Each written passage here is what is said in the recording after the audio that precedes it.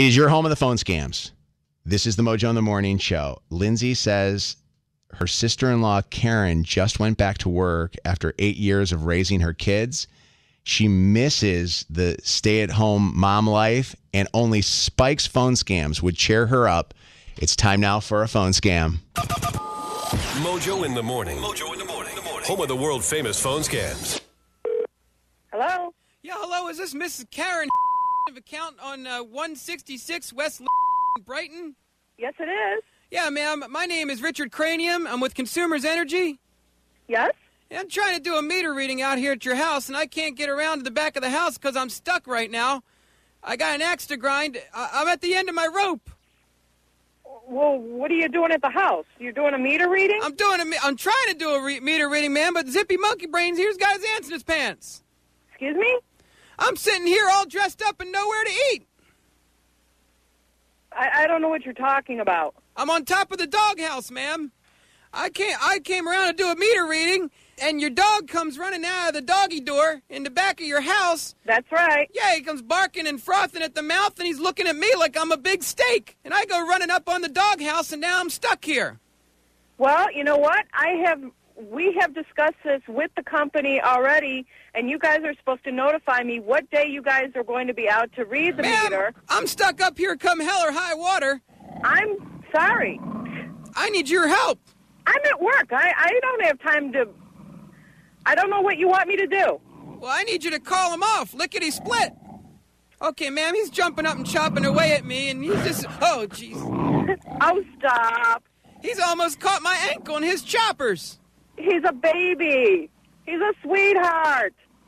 You Don't call- act like you're afraid. I need you to call him off, or I'm giving him a knuckle sandwich. Uh, you will not touch my dog. Oh, jeez. You will not touch my dog. Ma'am, I need you. He's. I'm gonna have to give him. Oh God, Jesus! Get well, you off- better quit poking at him. Get away from me, you snotty little falafel! Hey, don't talk to my dog that way. Ma'am, I'm about to give him the business end of a size 10 worker boot here if you can't call him off for me. Oh yeah, get him off. You, oh, You better not touch my dog. you're not getting me. Yeah, I need you to call him off here. Well, how how do you expect me to do that? You can tell this dog he can kiss my poochie poo. He's Hey, gonna. there's no there's no reason for that kind of language. My dog is protecting our property. He's doing his job. Yeah, You people obviously don't know how to do your job because you're supposed to inform me when you're going to be coming out there. Man, that's besides the point. I need you to help. No, that's not besides the point. It's my property. It's protected. You're supposed to give me notification. This is something that's been arranged through the company in our house. You're giving me a lecture. I'm standing on top of your gosh Well, you darn right I'm giving you a lecture. You shouldn't be trespassing on my property. He won't stop snapping at me. I need you to call him Well, off. quit poking at him. Just leave him alone.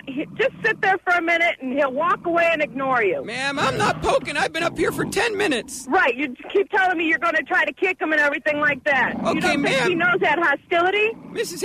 Maybe I can maybe I can hold the phone out and you can call him off for me. Oh, hold the phone out and call him up. Oh, come on. And maybe you could just tell him to, you know, be a good poochie. Oh, God. He's not. Yeah, right.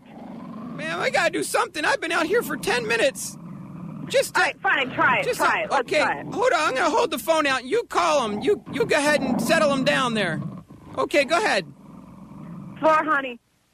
Thor, go in the house. Thor, come on, baby. Go in the house. Come on, we get something special. Go in the house. Get in.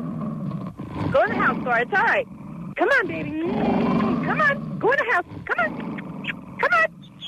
Come on.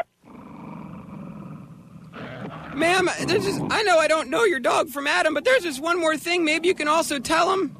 Could, What? Could, well, just repeat after me. Maybe this will work. Maybe this will get him. If you could just tell him, say, say Thor, you have been Thor, you've been. The victim of a Mojo in the Morning phone scam. What are you guys doing? what are you doing?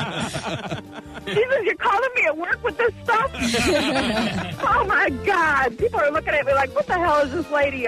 Oh my God. Your sister-in-law says that the neighbors are even afraid of Thor. Well, and the neighbors should be afraid of Thor. That's why we've got him.